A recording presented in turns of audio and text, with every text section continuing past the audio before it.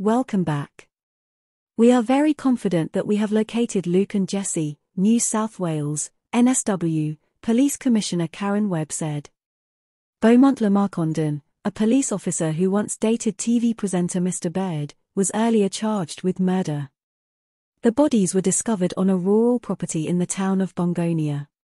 Police said that after initially refusing to cooperate with the investigation, Mr. Lamarre-Condon finally disclosed where the two bodies were located on Tuesday morning.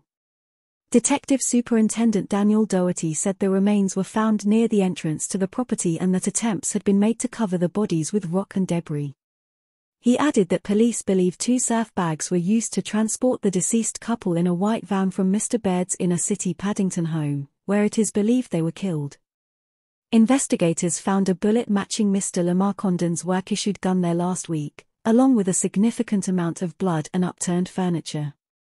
Mr. Lamarre-Condon, who appeared in court on Friday and was refused bail, has not commented on the charges against him. He first joined the police force in 2019 and was previously a celebrity blogger.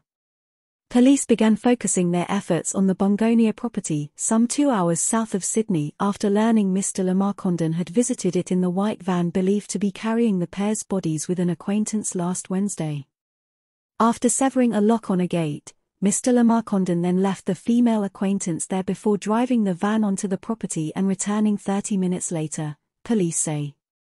The case, which has gripped Australia, is believed to be the first suspected murder carried out by a New South Wales police officer in decades, and it has prompted a review into the out-of-hours access officers have to their firearms.